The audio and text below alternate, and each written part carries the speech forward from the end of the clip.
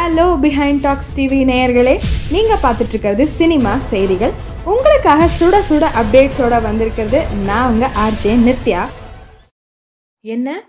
முதல்வரே அவங்க வீட்டுக்கு போய் நலம் விசாரிச்சாரா? ஆமாங்க. இயக்குனர் கஜேந்திரன் அவர்கள் வீட்டுக்கு போய் நம்ம முதல்வர் ஸ்டாலின் அவர்கள் வந்து அவங்களோட நலத்தை விசாரிச்சிருக்காங்க. வீடு மனைவி மக்கள் எங்கள் ஊரு காவக்காரன் பாண்டி நாட்டு தங்கம் பட்ஜெட் பத்மநாபன் போன்ற பல படங்களை இயக்கியவர் தான் டிபி கஜேந்திரன் அவர்கள். அவர்களோட வீடு வந்து சென்னை சாலை கிராமத்தில் இருக்குங்க. அவங்க வீட்டுக்கு போய் நலம் விசாரிச்சுட்டு வந்திருக்காருங்க. இது எப்படி சாத்தியம் அப்படின்னு பார்த்தா கஜேந்திரன் அவர்கள் என்ன தெரியுமா சொல்கிறாங்க முதல்வர் ஸ்டாலின் அவர்களும் கஜேந்திரன் அவர்களும் காலேஜிலேருந்தே ஃப்ரெண்ட்ஸாக இருந்திருக்காங்கங்க.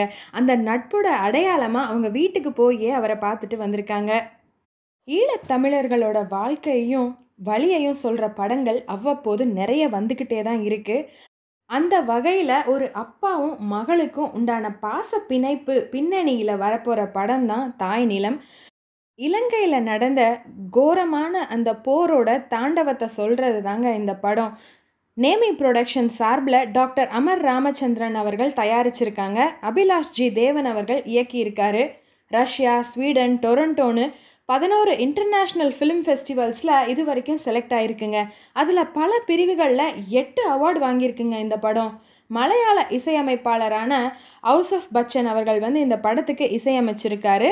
இதில் இன்னொரு விஷயம் என்ன அப்படின்னா பாடலாசிரியர் தாமரை இருக்காங்க இல்லையா? அவங்க வந்து இந்த படத்துக்கான பாடல் வரிகளை எழுதியிருக்காங்க. வர்ஷா ரஞ்சித் அவர்கள் வந்து இந்த பாடல் பாடியிருக்காங்க. ஆகாயம் மேலே அப்படின்ற அந்த பாடல் இலங்கை தமிழ் மக்களோட இழப்பு வலி அவங்க அனாதையாக தவிக்கிற அந்த மக்களோட வாழ்க்கையை வந்து சொல்லியிருக்குங்க அந்த பாட்டு. சீனியர் காமெடி ஹீரோவான செந்தில் அவர்கள் வந்து முதல் முறையாக ஒரு படத்தில் ஹீரோவாக நடிச்சிருக்காருங்க. கிடாயின் கருணை மனு படத்தை இயக்கிய சுரேஷ் சங்கையா அவர்கள் தான் இவரோட படத்தை இயக்க போகிறாரு கதைப்படி பார்த்தா செந்தில் அவர்கள் வந்து ஒரு ஆயுள் தண்டனை கைதியாக இந்த படத்தில் நடிக்க போகிறாராமா அவருக்கு ஜோடின்னு பார்த்தா இன்னும் யாரும் இல்லை அந்த படத்தில். படத்தோட தலைப்பு அப்புறம் ஃபர்ஸ்ட் லுக் போஸ்டரை ரொம்ப சீக்கிரமே நாங்கள் வெளியிடுறோம் அப்படின்னு சொல்லிட்டு படக்குழுவினர் சொல்லியிருக்காங்க.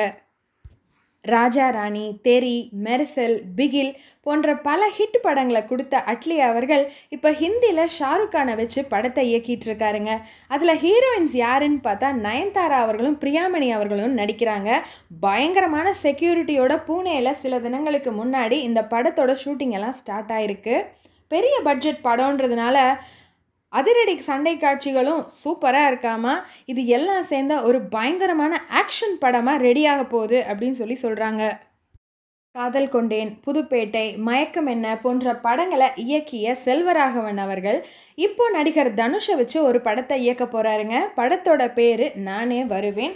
இந்த படத்தில் தனுஷ் அவர்களுக்கு ஜோடியாக யார் தெரியுமா நடிக்க போகிறா மேயாதமான் படத்தோட ஹீரோயினான இந்துஜா தான் நடிக்க போகிறாங்க இவங்க ஆல்ரெடி விஜயோட பிகில் படத்தில் நடிச்சிருக்காங்க.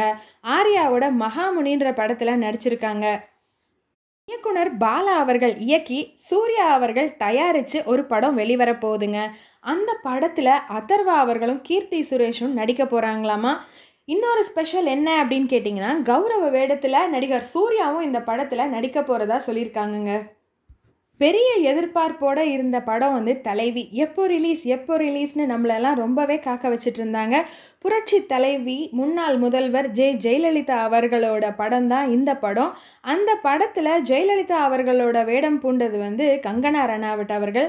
இப்போ பட வேலைகள் முடிஞ்சு ரிலீஸ்க்கும் ரெடி ஆயிடுச்சு. செப்டம்பர் பத்து தான் ரிலீஸ் ஆக போகுது அப்படின்னு சொல்லி சொல்லிட்டாங்க. இந்த படத்தோட விழாவுக்காக சென்னைக்கு வந்துட்டாங்க கங்கனா அவர்கள்.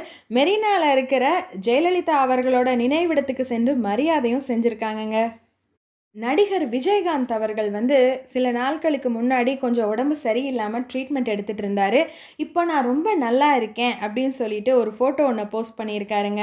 எப்படி தெரியுமா இருக்குது அந்த ஃபோட்டோ அவரை சுற்றி வந்து அவங்களுக்கு ஹெல்ப் பண்ணுற நர்ஸ் வந்து சுற்றி இருக்காங்க. அவரோட சேர்ந்து அந்த நர்ஸும் அவர் நடித்த சத்ரியன் படத்தை வந்து பார்த்துட்டு இருக்காங்கங்க. இன்னைக்கு அப்டேட்ஸ் எல்லாமே கேட்டிருப்பீங்க. கேட்டால் மட்டும் போதுமா? சப்ஸ்கிரைப் பண்ணுங்கள் அந்த பெல் பட்டன் ப்ரெஸ் பண்ண மறக்காதீங்க. உங்கள் ஃப்ரெண்ட்ஸோடையும் ஷேர் பண்ணுங்கள் லைக் பண்ணுங்கள் கமெண்ட் பண்ணுங்கள் until then this is bye from RJ Nithya take care stay safe bye